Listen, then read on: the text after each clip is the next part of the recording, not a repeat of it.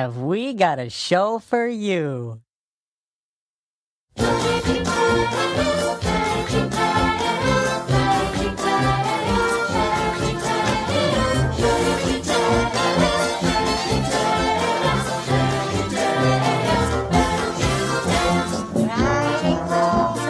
Thank you.